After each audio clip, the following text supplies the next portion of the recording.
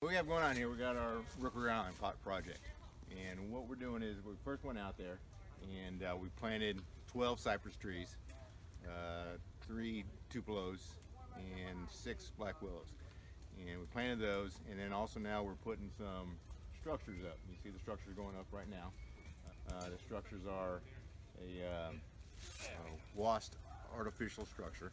And that's going to help to attract the birds to come in. We also planted some dead cedar trees. Uh, we planted six of those.